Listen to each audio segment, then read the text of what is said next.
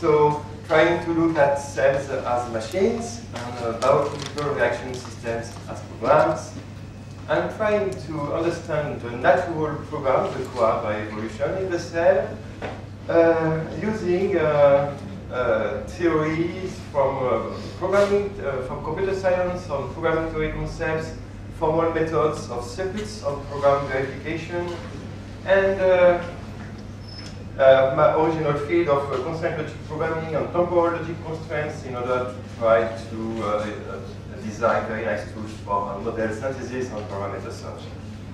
So uh, my group uh, is, is called Lifeware, and we are in Inria, Rocquencourt, which is nearby Paris. It's near Versailles.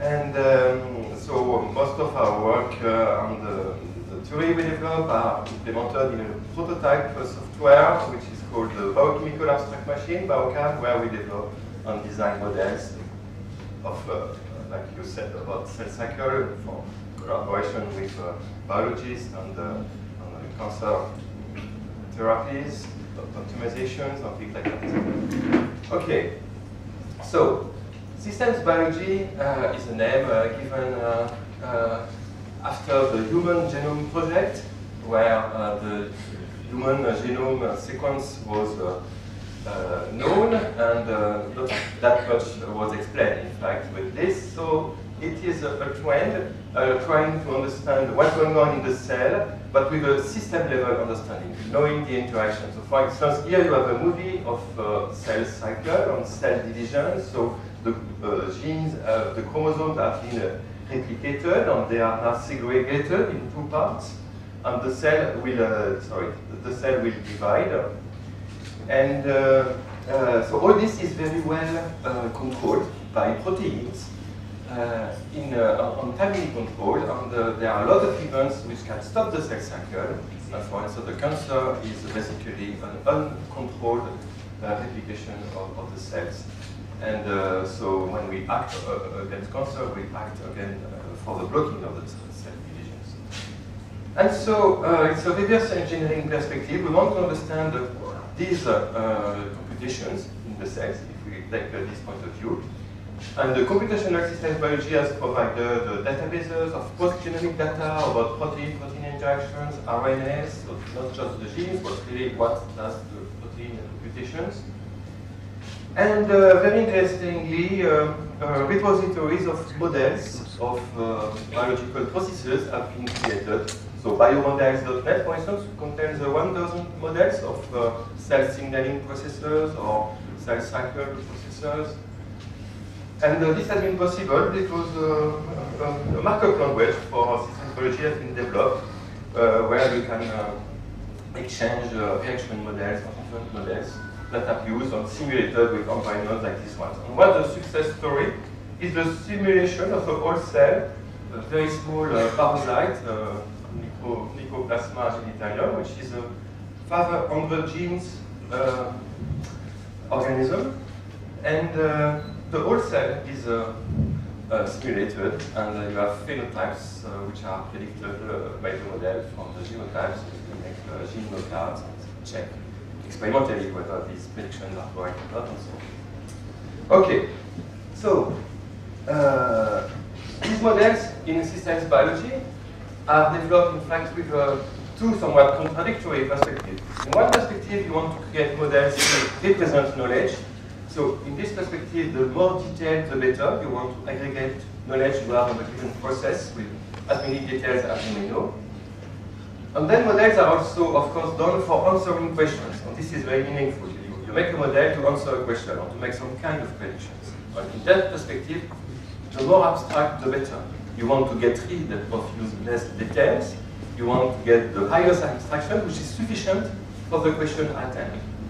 So you will find models, uh, like for instance here of the cell cycle I was presenting, where here you see all the interactions with some graphical notations, because with biologists we interact through diagrams of this kind. Uh, all interactions about the cell cycle, what regulates the cell cycle, what are the different uh, phases and the checkpoints to go from one phase to another phase, what happens, and how does it work with uh, genes and proteins uh, that can uh, block some operations and block the synthesis of the proteins. And here you have a very simplified uh, model where you basically see uh, the fundamental uh, uh cycle about uh, the activation of cyclin, which uh, another protein can bind together to form this complex, and then this complex can lose one P here, so it's a phosphate group on some amino acid, what's called uh, dephosphorylation here in that case.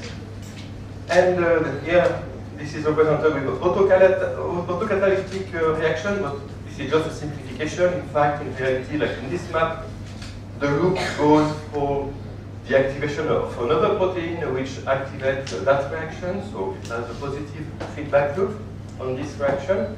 Here it is represented very simply as an autocatalytic rule, which is not reality, but this is a simplification. And then this is the mitosis promoting factor. So if the complex cyclin and the kinase is properly phosphorylated that way for these mechanisms, then uh, division can occur. And because this complex of proteins has a particular effect on the actin, on microtubules in the in the uh, in the cell, and so it is responsible for the contraction and segregation of the, the, the genes in the cell and division. And then uh, this uh, is uh, recycled in a way. Okay, uh, so we want to understand that. And so we want, we want to, to, to relate models, and we want, we want also to formalism, because this is just a map of interaction, and then you can give different semantics at different abstraction levels. So if we look at these biochemical programs, they are made of reactions, and chemical reactions, if you want. And in fact, of uh, not so many uh, uh, reaction schemes. You have uh, basically these five reaction schemes as elementary reaction schemes. Uh, linear or non-linear ones, like here. Here you have uh, A, oops, A and B, uh, which bind together. So like two proteins which form a complex. Adhesive interaction, it's low energy interaction. To form some complex C.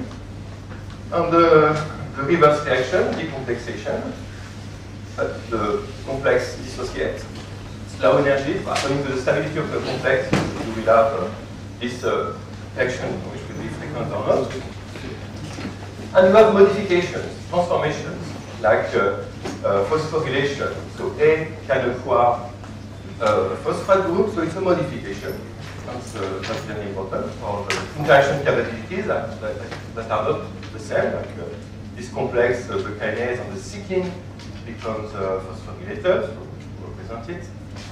Transport can be also represented, things like that, where you say that, uh, for instance, uh, this uh, uh, complex implicitly in the cytoplasm can move to the nucleus.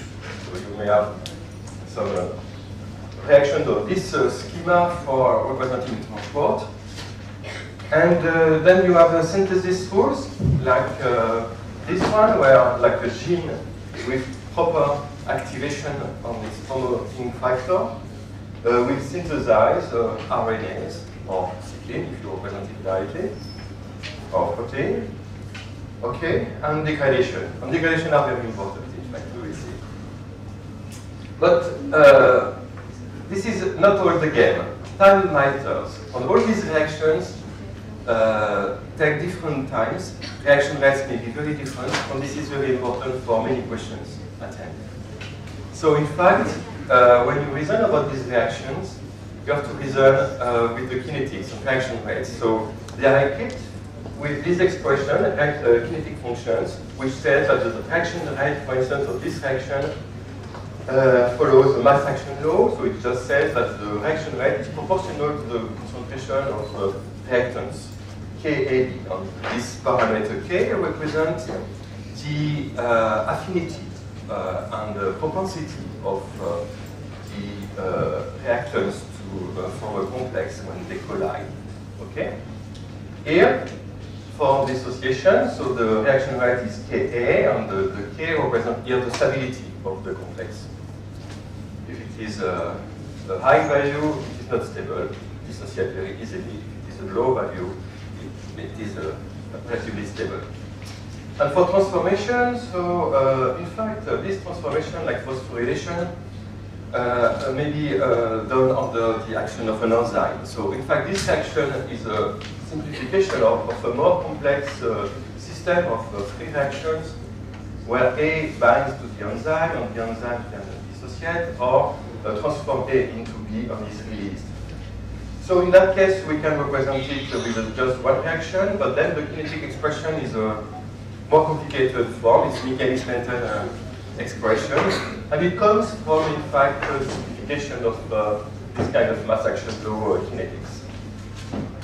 Okay, on the same for gene activation, you have these uh, sigmoid uh, functions which represent gene activation, so it has a, a Boolean switch behavior where suddenly, when the promoting factors are important, you get uh, this uh, synthesis of B, which is RNA or the protein dye.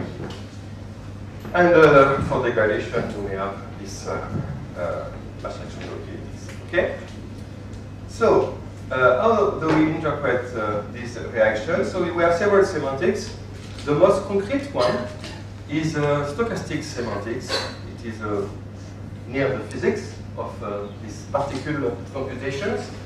And um, you can associate the interpretation of these reaction programs set of reactions with a continuous time Markov chain, where basically in the states you will say how many molecules you have, and uh, the probabilities of transitions are given by the weights, propensities of reactions from state I to state J, which comes from these expressions. According, you evaluate these kinetic functions, it gives you a weight, by normalization, it gives you a probability of transition from one state to another one. So this is uh, quite uh, realistic, but uh, difficult to, to, manage. And so uh, what is very common is to focus on the mean behavior given by continuous semantics with ordinary differential equations, so we call it differential semantics, where basically for each, each uh, molecular species you collect uh, all the reactions where it appears in the right-hand side or in the left-hand side, and you add or subtract the kinetic functions you have here. So this gives you the um, continuous dynamics given by ordinary differential equations, and this is in fact the first order approximation of uh, the chemical master equation, which probabilities of being in a given state. So uh, this approximates the mean behavior in good cases of the uh, stochastic uh, semantics. So these are for the uh, quantitative models, but of course you may reason also at a higher level of abstraction, and this is really useful to answer some questions, uh, forgetting about the kinetics. And so uh, you have the Petri net semantics, where you will reason on the possible transitions. You count, like in the stochastic semantics, you count the uh, numbers of molecules. So if you have A and B with this rule, then you can increment C and decrease A and B. This is the Petri semantics. So it is clearly an abstraction of the stochastic semantics, just by forgetting the probabilities. And uh, the highest level of abstraction you may have here is to reason with a Boolean semantics, where further you reason only on presence or absence of molecules.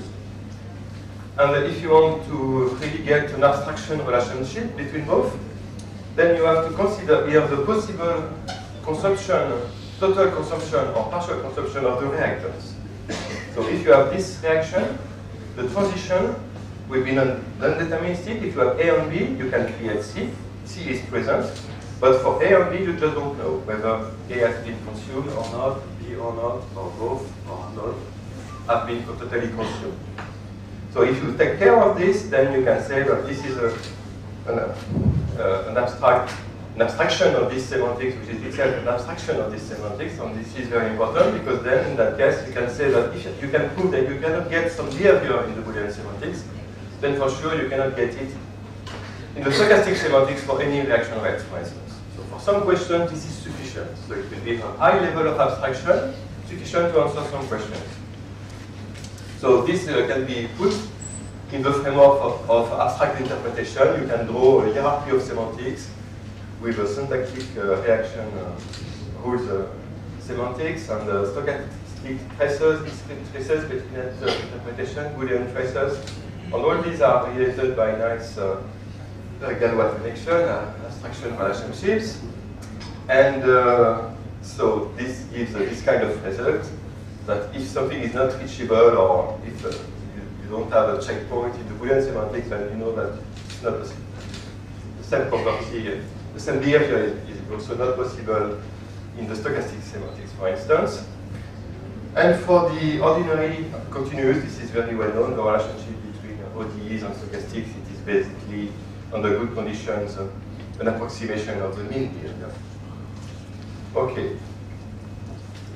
So, uh, another useful abstraction, when you fix, the, before it was a hierarchy of semantics, hierarchies of uh, interpretation of the same reaction model, same map, a different evolution. Very useful also is to reason on the influence graph. So in the web, there was also this notion of influence graph. Here you have the, the same notion of influence graph, where you say that uh, you have a positive influence of some molecule on another one, or negative influence.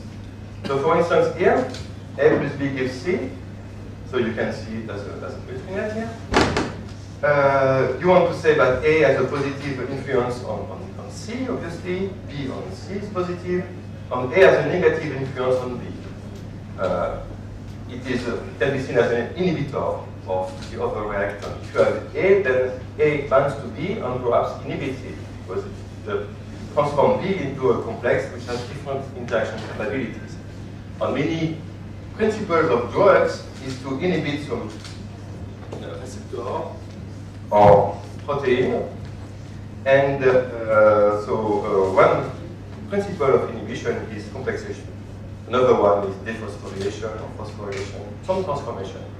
So the drug may just act like that to inhibit the given target.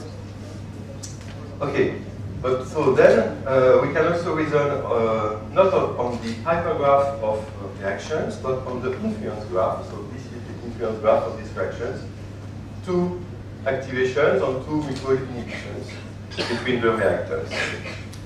And uh, the interesting result on this, for instance, there has been a lot of theory on um, uh, the uh, giving of uh, necessary conditions for multistationarity or oscillations and uh, different semantics, like in the ODEs or in the Boolean semantics or in discrete semantics, you can have this kind of results. So it has been proven in the different settings by different people.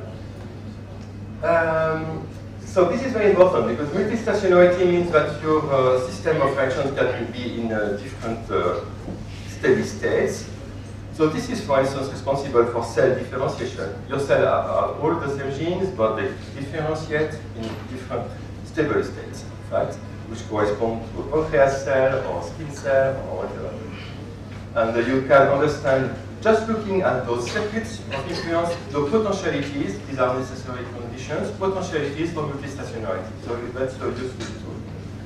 So you can do it in the ODEs, looking at the sign of the Jacobian matrix. This is a natural notion of influence in the ODEs, but you can look, it, look at it also just with the stoichiometric matrix, uh, what, what I did in the other example. And on the very, very general conditions on the kinetics, both graphs are the same. So you can do a very simple computation to uh, compute uh, this graph, and you know it is the same of the Jacobian matrix under the very general condition. And so it says that this influence graph is in fact independent of the kinetics, under the very general condition on the kinetics. Okay? So, let us uh, look at uh, cell cycle control model. So this is a, a picture of the cell cycle. You have basically four phases one phase uh, G0, where the cell is quiescent. So some of your cells can stay uh, living and quiescent without dividing for years. And uh, in response uh, to some uh, signals, like steroids for your muscles, they will divide. Uh, other cells divide every day, like in the intestine, they divide every day. And so every day they will enter this cycle where the cell will grow, phase G1. And here, you have a phase shift from G1 to S, where you have the synthesis of uh, the, the, DNA, replication of DNA, and so this is very well controlled by some uh, particular protein complexes, and um, you have some signaling proteins which uh, signal DNA damage. This exists, a very sophisticated system of DNA repair system. But if uh, these proteins do not block uh, the transition, this is the checkpoint, then the uh, uh, DNA will replicate. This is the S phase, and then you have a, a second phase G2 again, where you have some signaling proteins about uh, errors in replications. This uh, trigger the uh, synthesis of these proteins like P21 or P53, which block the cell cycle. So in many cancers, for instance, P53 is uh, mutated and doesn't take its role of blocking the cell cycle. So even though you have uh, error multiplication or whatever, you will have progression and division and uh, uncontrolled division of uh, the cells, for instance. And then mitosis is uh, like in the movie when the uh, replicated DNA moves and is segregated in two parts of the cell and the cell divides. And then you have two cells so this was a picture. We started with this picture given by Kurt Kohn in 1999 about uh, all these interactions, uh, like with the cyclin uh, and uh, its uh, kinase uh, CDK1. So you have some graphical notations to represent the different kind of reactions I was telling you, like complexation or phosphorylation or synthesis. Okay, just to show you the kind of circuit to get.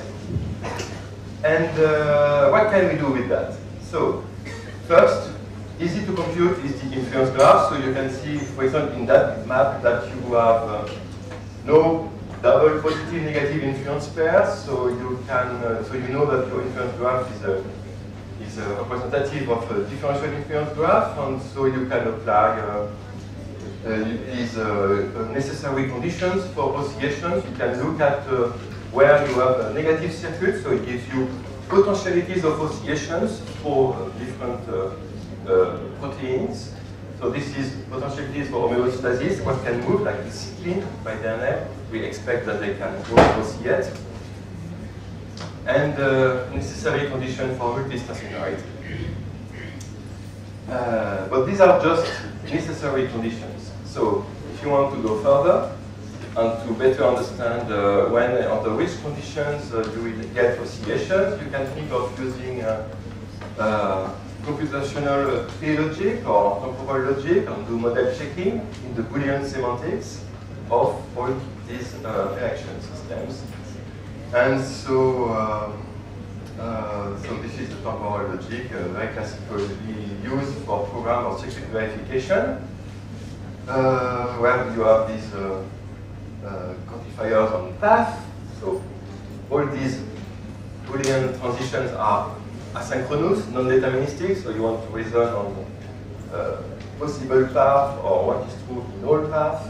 So you have these operators, E, to say that some formula is true on some path, or A on all paths, and the operator on time, next, next time point, logical time, or finally, some-time point if a some formula will be true or globally or on okay?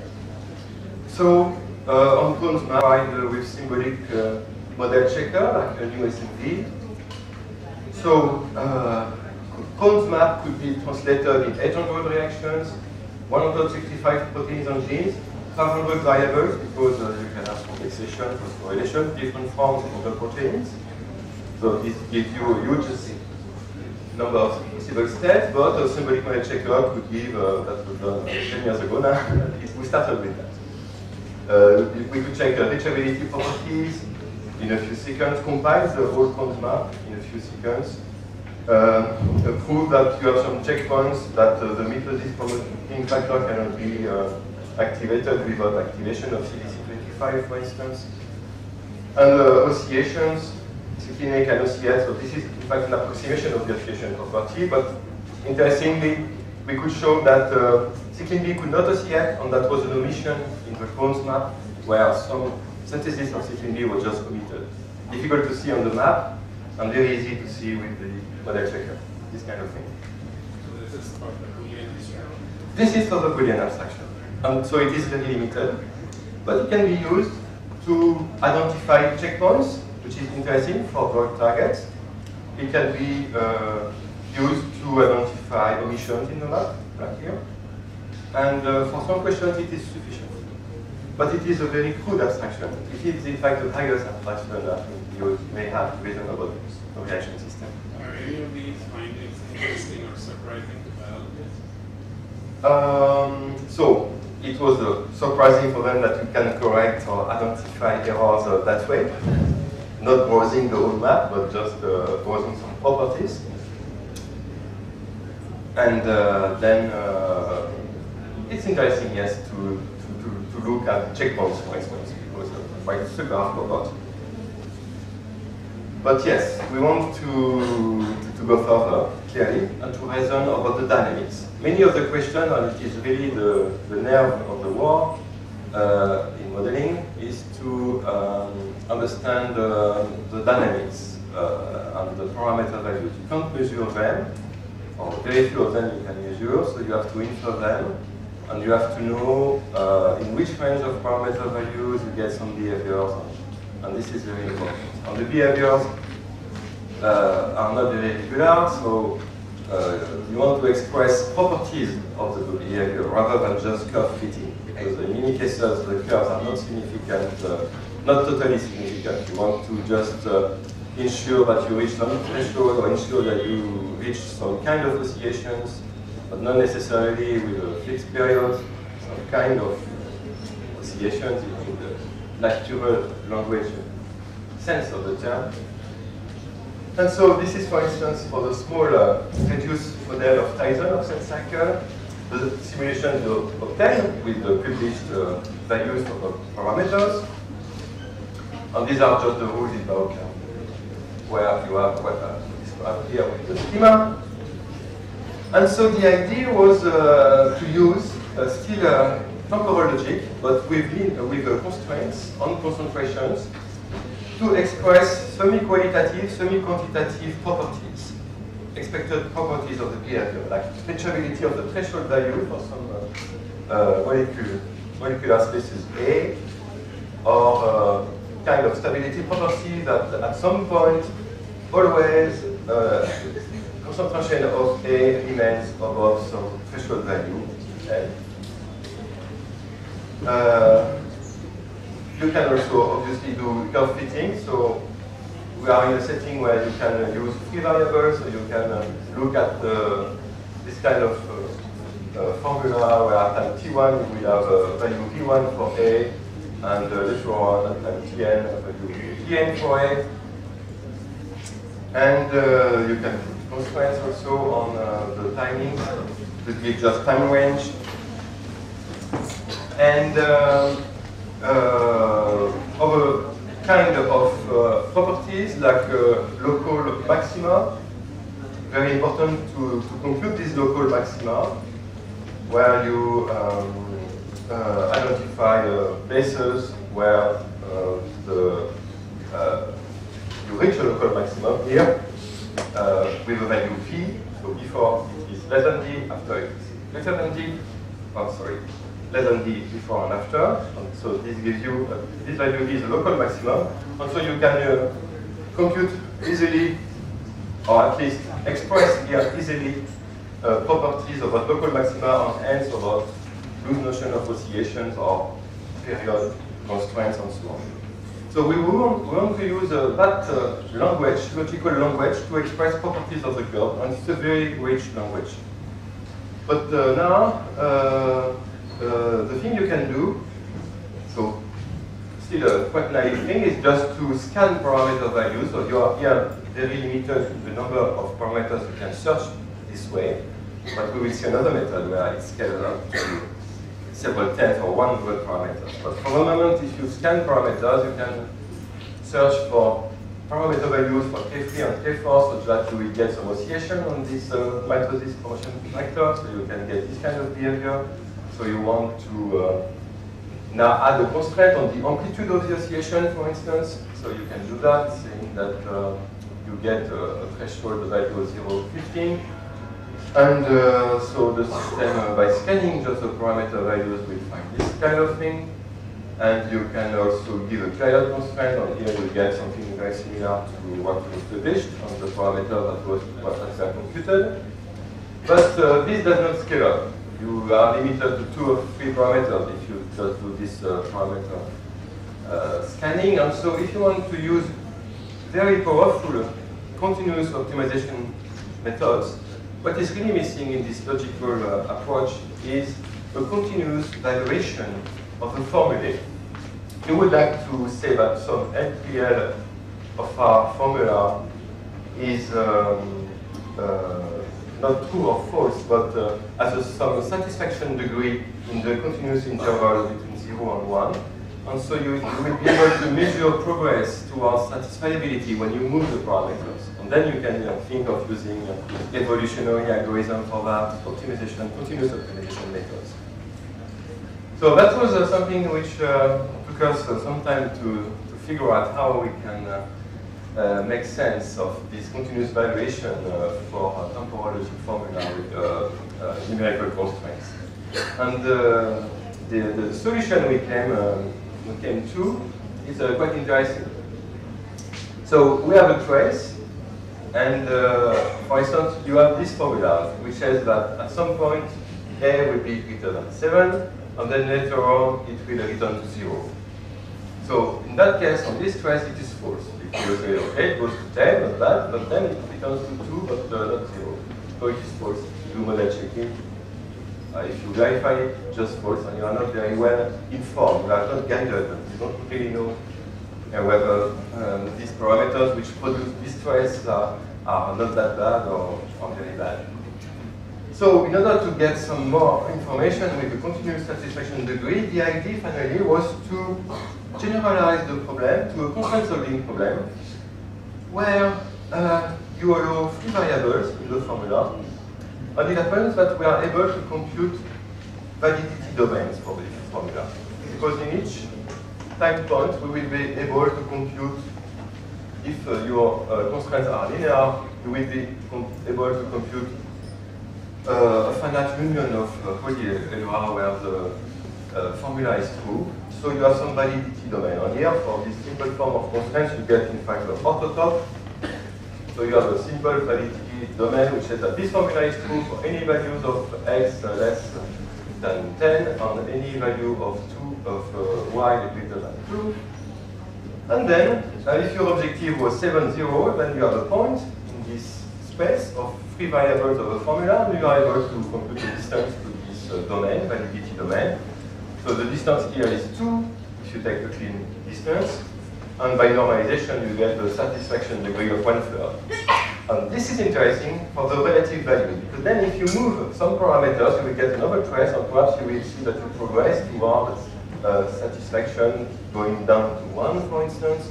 So you will have a one-fourth uh, uh, or one, uh, one half uh, satisfaction. So you, you can see that you progress in the good direction. And so uh, this is possible to do. So this is implemented in Biocham. We compute this validity domain. It is quite efficient. So same order of uh, numerical integration of uh, the, the model with given parameters. And so this is the kind of landscapes we obtain here I represent with colors the satisfaction degree. So black is satisfaction, yellow is uh, false. And in between, uh, you have uh, some color code to represent intermediate values towards satisfaction. So here it's oscillation property with amplitude constraint. And you have this kind of landscape. And an algorithm will be able to, to, to, to move in the good direction in order to improve the uh, satisfaction. So you can see it as an enrichment of a bifurcation diagram, so that was in Python paper, and here this is what we compute. So you see, you know that you have oscillation in this uh, band, uh, in this uh, region, uh, but here you have some extra information about satisfaction of the amplitude constraint, for instance. And so what do we use? uh, we use a very nice uh, method, uh, which is a covariance matrix adaptation evolution strategy, CMA-ES. It is uh, developed by Nicolas Hansen at INRIA and our team. And uh, it is a black box method. You, you give any um, uh, real valued functions as objective, and it will uh, look for parameter values that minimize this objective function. And it is an evolutionary algorithm, very interesting, where you have um, uh, a distribution which is represented by a, a multivariate normal distribution. So you sample parameter values. For each one you will do numerical integration, you get a trace.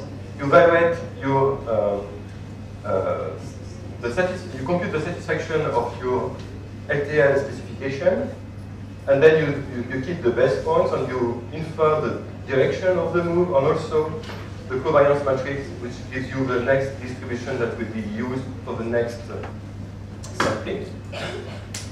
And uh, it's a very powerful method.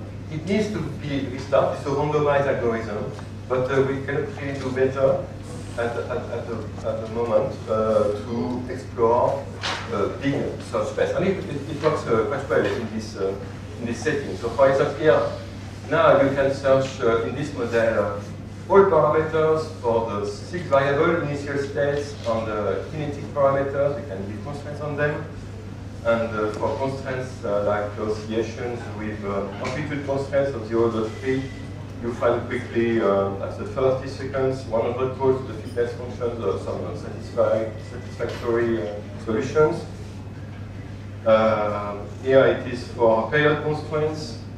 You, you can uh, automatically find with this method uh, the parameters uh, that gives you the, uh, the possibility to obtain uh, this period.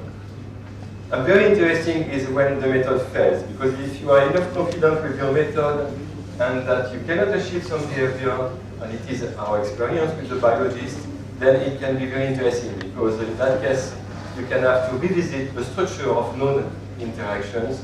And this happened in signaling in collaboration with uh, INRA people and uh, Robert Lefkowitz of the Nobel Prize and GPCR um, uh, signaling.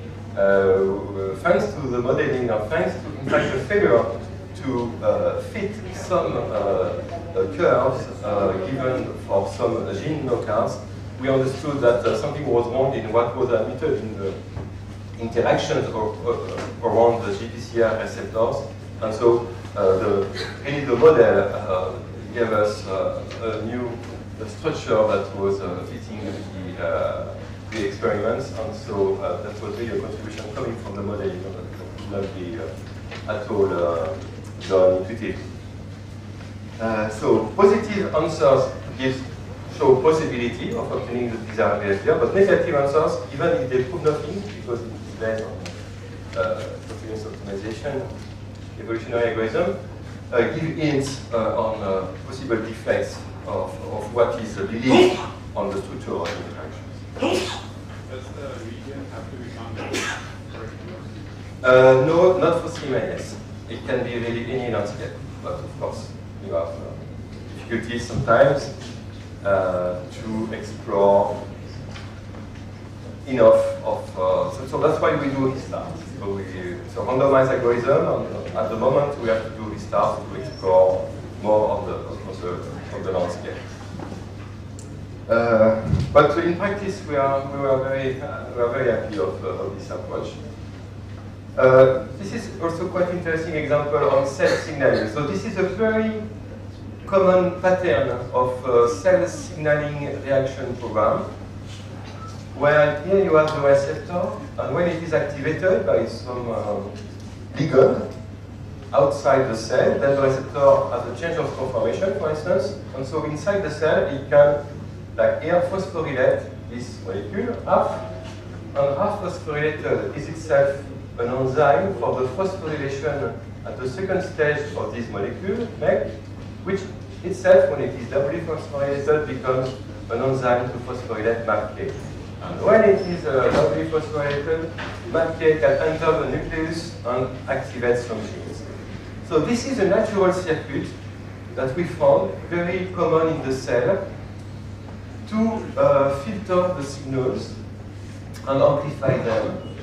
Uh, and I must say, we do not really understand uh, exactly the logic of that circuit, but it is very common. So we can explore the dynamics with this technique. So for instance, we are looking for oscillation. It's not very intuitive to have oscillation here because uh, it's a directional cascade of reactions.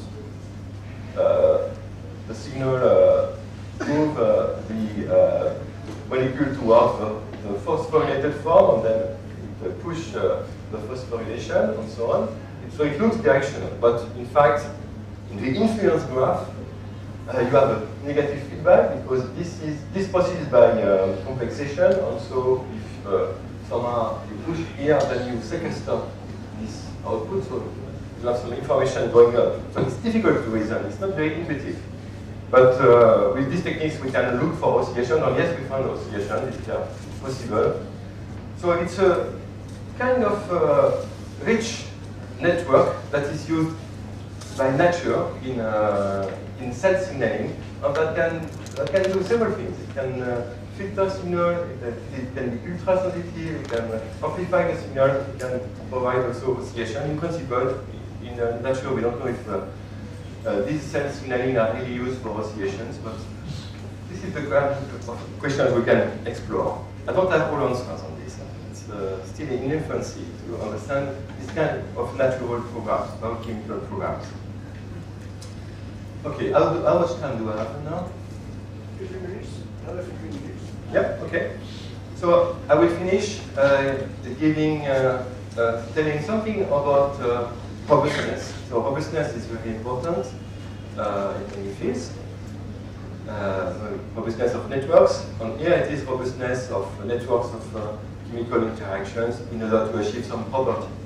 So you want to characterize or at least define in the first step uh, the robustness of a biological system presented with a set of reactions with respect to some uh, functionality property and a set of perturbations like uh, the concentration of some proteins or perhaps also the kinetic parameters of some reactions which uh, may differ from cell to cell for various reasons uh, because pH or temperature or whatever.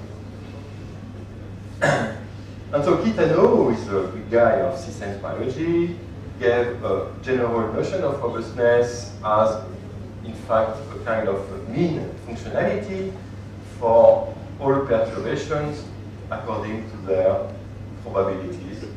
Uh, distribution law for the perturbation. Also, you what we, you want to call robustness is uh, this mean functionality of uh, all perturbations.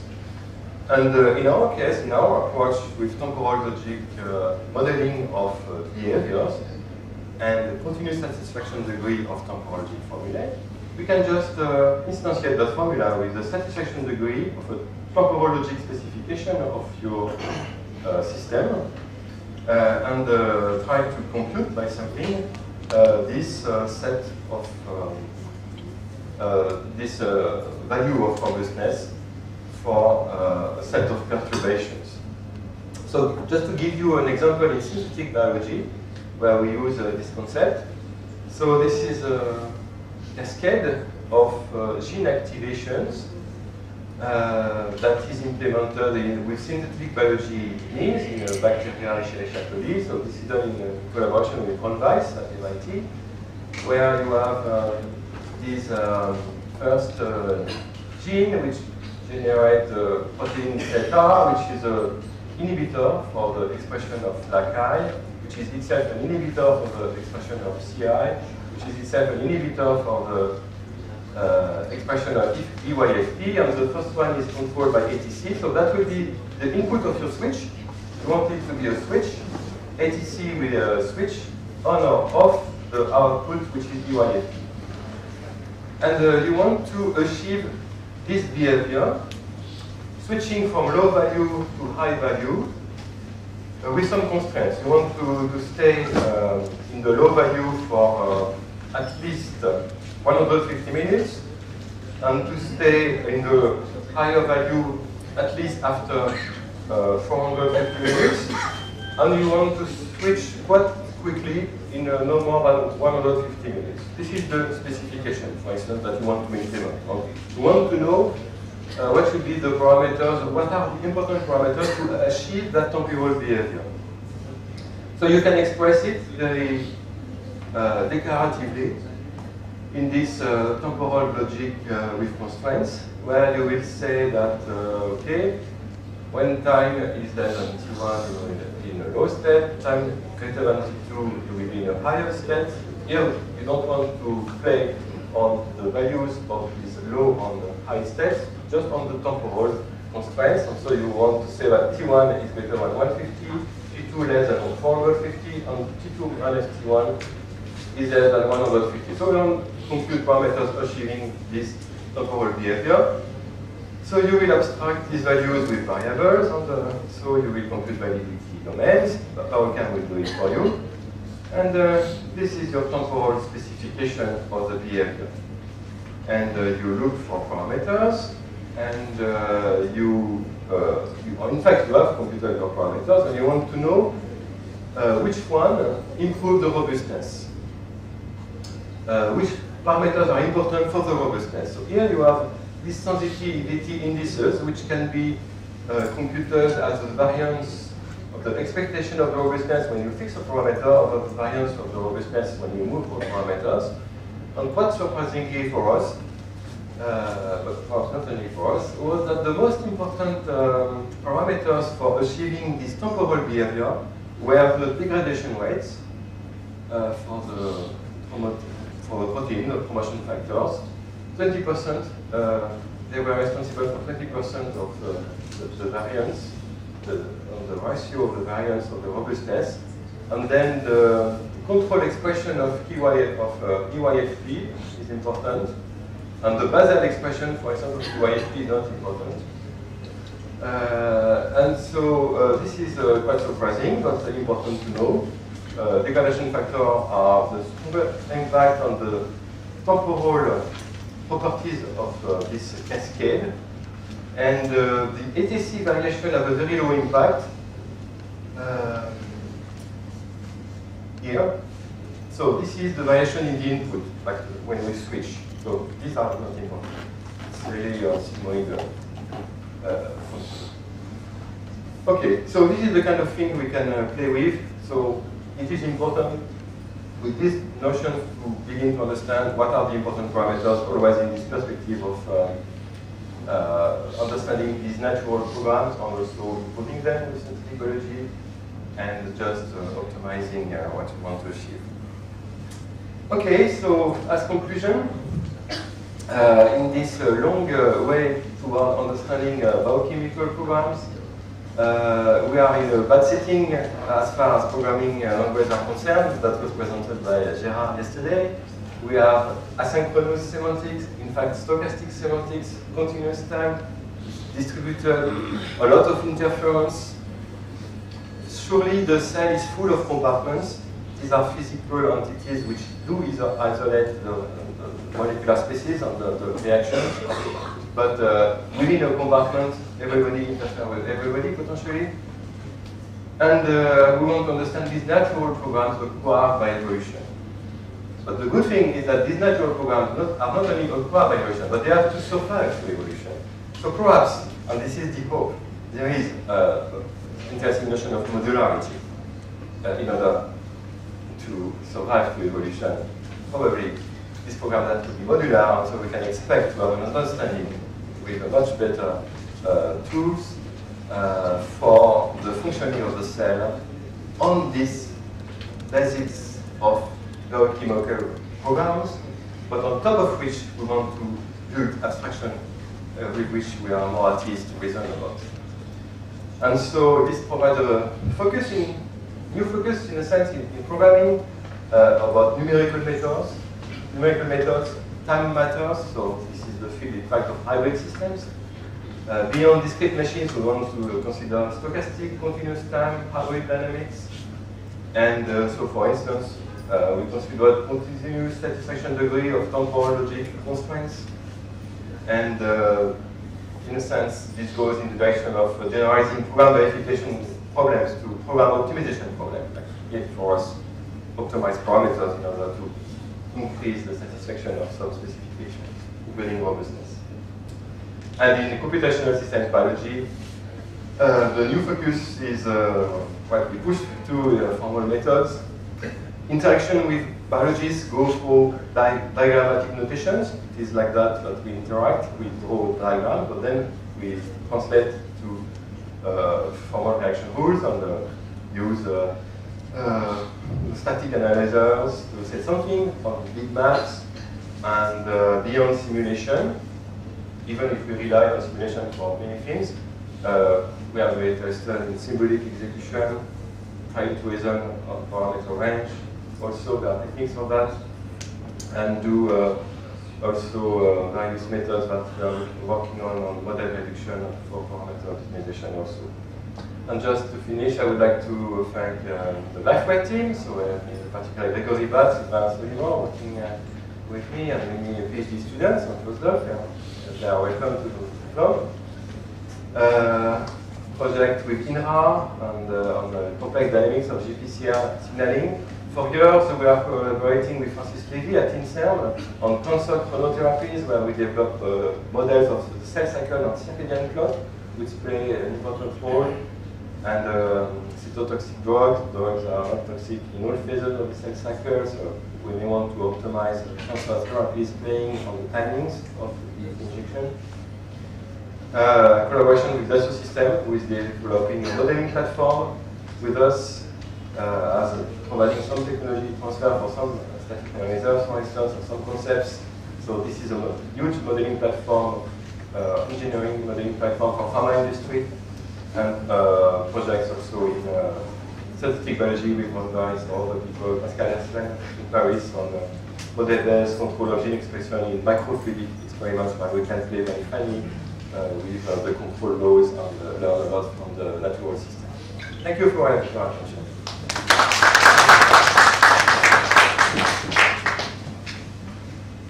now we are open for a few questions. please, you can go ahead with your question.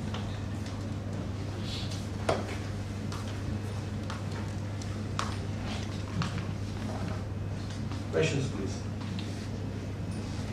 Uh, I had a small question. Uh, so how do you capture uh, effects like mutation and abnormal cell division? So that would require an automata with some degree of non-determinism.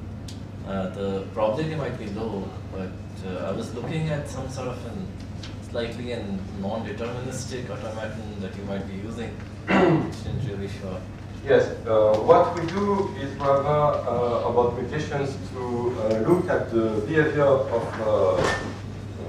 cell uh, when some of the genes are mutated. So for instance, we can uh, knock out p53 in a model of cell cycle with p53 and see what happens. So we will see that we have a faster cell cycle, for instance.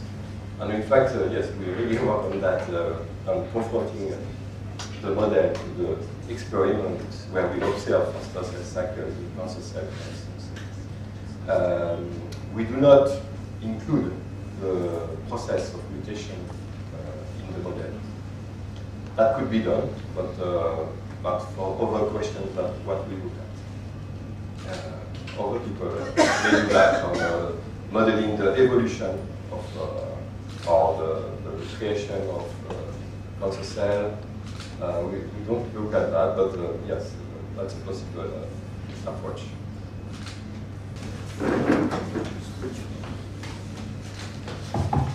It is a to everyone present here, please switch off your phones or keep them in silent mode.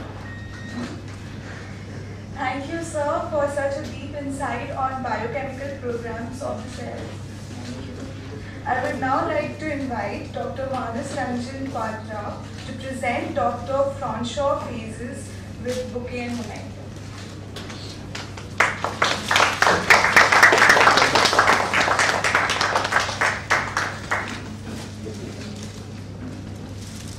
I would like to request Dr. N. Raja sir to honor our